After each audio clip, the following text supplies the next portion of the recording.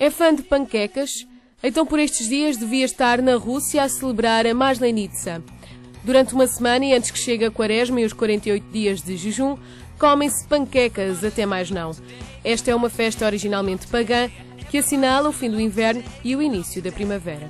Весело и хорошо, и блины есть повод поесть каждый день.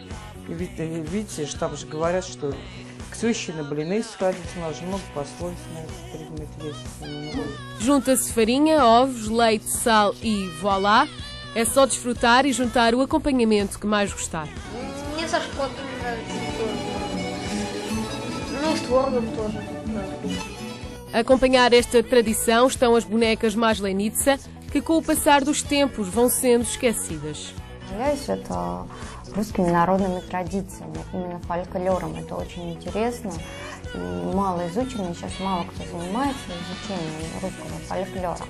И сейчас вот наступает Масленица, а купол Масленицы – это проводы зимы, все гуляют, поют песни, водят хороводы, едят блины и в конце праздника сжигают эту куклу. Esta semana festiva é uma boa desculpa para se cometerem muitos pecados da gula e comer até cair para o lado.